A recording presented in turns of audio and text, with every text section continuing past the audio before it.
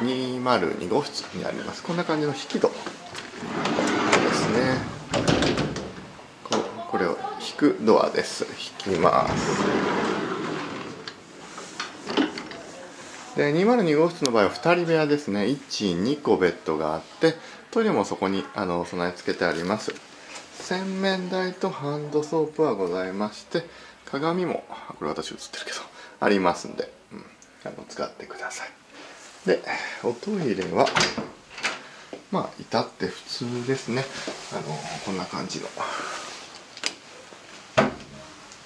おトイレは至って普通。あの手すりみたいのありますんであの立ち上がるときはこれを使って立っていただいてと。